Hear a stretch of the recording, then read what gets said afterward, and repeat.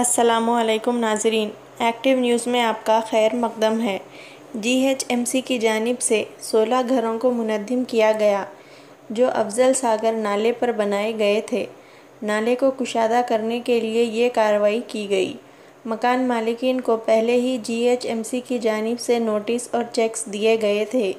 इत्तला मिलने पर AIMIM MLA Jafar Meraj Hussain ने पहुंचकर जीएचएमसी अफसरान से बातचीत की।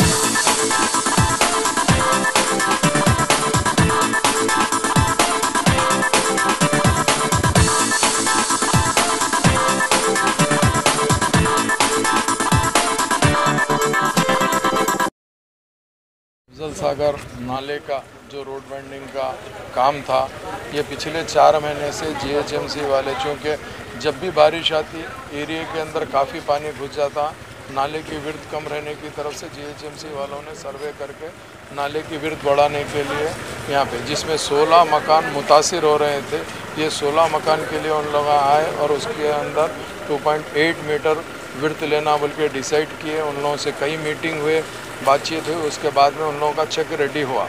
रेडी होने के बाद ये लोग रमज़ान में ये करना चाहते थे, मगर मैंने कहा कि रमज़ान है, करने की ज़रूरत नहीं है। उसके बाद ये सिलसिला चल रहा था जिसके अंदर कुछ लोग चेक लिए, कुछ लोग विलिंगली दे दिए थे तो उनके ही घर इमीडिएट निकालना बोल के ये डिसाइड हुआ था। जिसके लिए आज उन लोग जीएचएमसी वाले पुलिस बंदोबस्त के साथ यहाँ पे आए हैं। तो मगर क्या है, कुछ घरों के अंदर सामान वैसी है। तो मैं ये चाहता हूँ कि पुलिस को भी कहना चाहता हूँ और जीएचएमसी को भी कहना चाहता हूँ कि सब तमाम हैदराबाद के जहाँ जहाँ पे भी पानी घुस रहा, जहाँ पे अफजल सागर नाला आता है, हम लोग कोऑपरेट करने को तैयार है।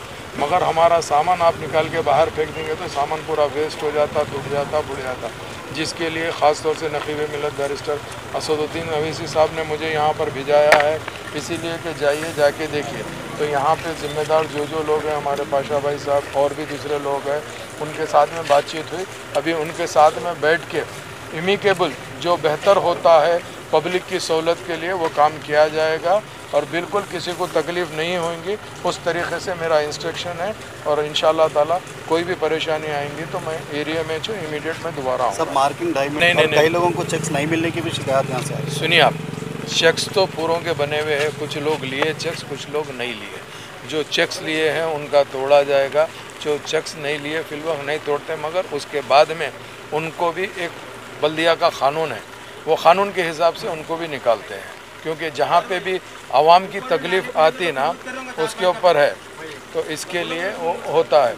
तो मैं चाहता हूँ कि जो भी है इमिकेबल आपस में बैठ के तय कर लेंगे और इन ताला किसी को तकलीफ़ आए बगैर काम करेंगे।